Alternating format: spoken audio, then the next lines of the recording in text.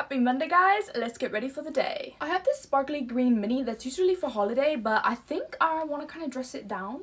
Harley Davidson long sleeve I feel like will be the perfect fit and I love that it's kind of raised right here. I have these two belts that I thrifted and made into one belt and I feel like it can look kind of cool draped over like this since this top is a little bit more baggier. For the jacket, I could either go long fur or a cropped, maybe a little bit more of a Bratz moment.